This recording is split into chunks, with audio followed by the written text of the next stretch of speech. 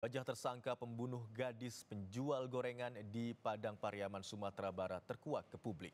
Hingga kini tersangka belum ditemukan dan masih buron. Inilah foto tersangka IS yang merupakan warga kampung tetangga dari kampung korban. Penetapan tersangka IS berdasarkan fakta dan barang bukti yang ditemukan di lapangan.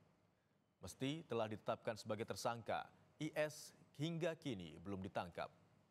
Tim sus gabungan dari Polda Sumatera Barat dan Polres Padang Pariaman terus melakukan penyisiran ke sejumlah lokasi untuk menemukan tersangka yang masih buron.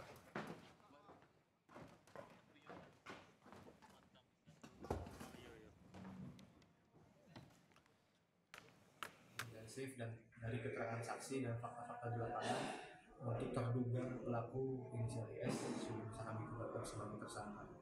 Tersangka ini yang sudah kami tetapkan adalah warga sekitar sendiri. Mungkin sedikit banyaknya dia sudah menguasai Medan.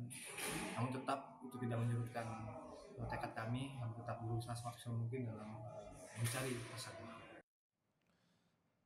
Tersangka pembunuhan gadis penjual gorengan masih berstatus buron dan beberapa kali terlihat di pintu kampung, membuat warga di kecamatan 2 kali 11 Kayu Tanam, Kabupaten Padang Pariaman, Provinsi Sumatera Barat ketakutan. Pasalnya, saat terlihat, tersangka tampak menenteng senjata tajam. Saat ini, warga takut keluar rumah sendirian, apalagi malam hari karena status tersangka yang masih buron.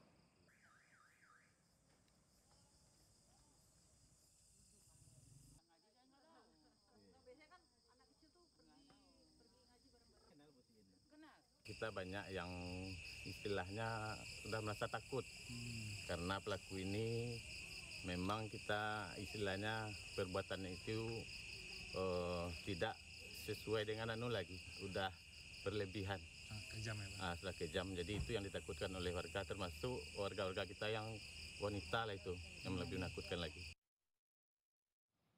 Sementara itu, untuk pendampingan terhadap keluarga korban, Polda Sumatera Barat juga memberikan trauma healing dengan membuka layanan konseling bagi keluarga korban. Konseling lebih difokuskan untuk ibu korban yang hingga kini masih menyimpan luka dan duka mendalam karena kepergian anaknya.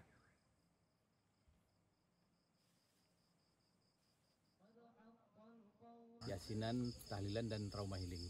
Trauma healing akan dilakukan berapa lama nih Pak? Berlanjut atau? Uh, lihat lihat perkembangannya nanti bisa juga berlanjut atau kalau memang satu kali cukup cukup. Informasi lainnya saudara,